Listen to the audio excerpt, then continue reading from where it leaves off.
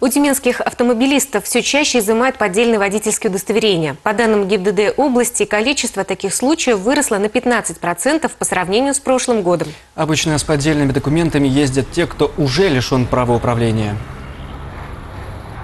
С начала года инспекторы дорожно-патрульной службы изъяли более 60 поддельных водительских документов. Э, Инспекторы обладают большим опытом, и они сразу могут выявить, поддельные права у водителя или нет. Кто-то просто переклеивает фотографию, а кто-то покупает через интернет, либо через каких-то других людей уже действительно поддельные водительские удостоверения.